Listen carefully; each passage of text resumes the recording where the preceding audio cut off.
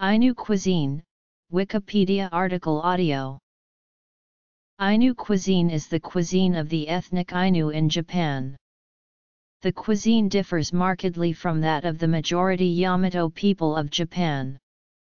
Raw meat like sashimi, for example, is not served in Ainu cuisine, which instead uses methods such as boiling, roasting and curing to prepare meat.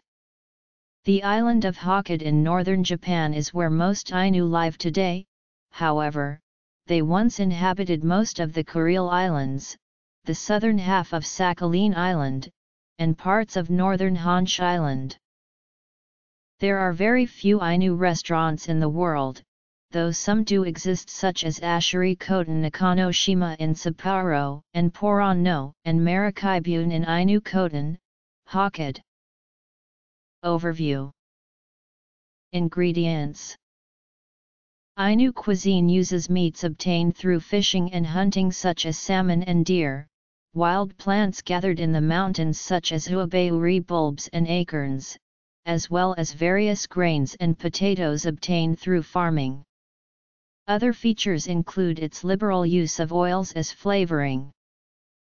In addition to salt, the fats from cod, sardines, herring, shark, seal, sika deer, and bear are used to flavor dishes. Miso has also been used in modern times. Soup stocks may be made using kelp, animal bone, and dried fish. Seasoning and spices include pukusa, berries from the amur cork tree, and wavy bittercress. Crops Wild plants. Animals. Game. Dishes. Notes